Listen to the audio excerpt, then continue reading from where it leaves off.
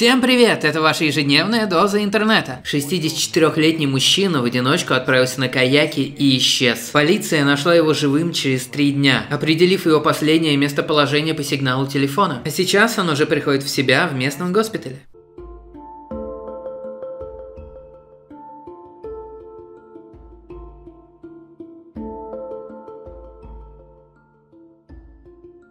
Этого кота застукали, когда он качал пресс под машиной.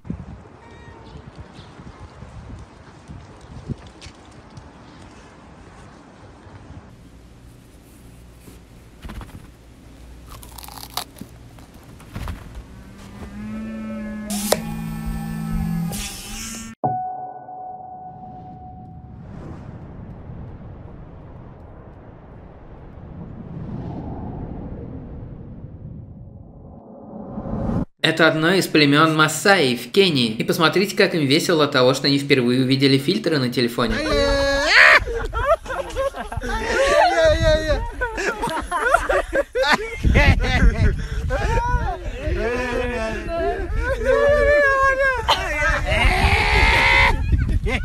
Это две ленточные мурены, только гляньте, как они плавают.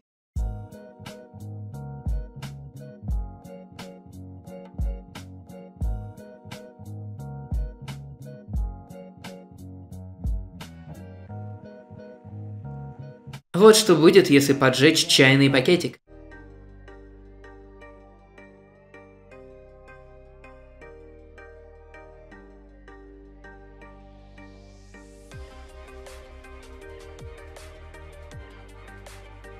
Во Вьетнаме очень сложно найти ровные поверхности для выращивания риса, поэтому его выращивают наподобие ступенек, которые называют террасы.